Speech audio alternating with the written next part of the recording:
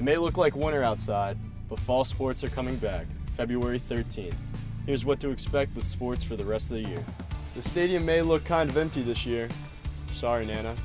But luckily, there may be a possibility to live stream sports. Parents, March 5th is the first game day. Unfortunately, it's a short season, so it ends April 17th. But spring sports start that day too. Yay! Yay! Yay! Yay!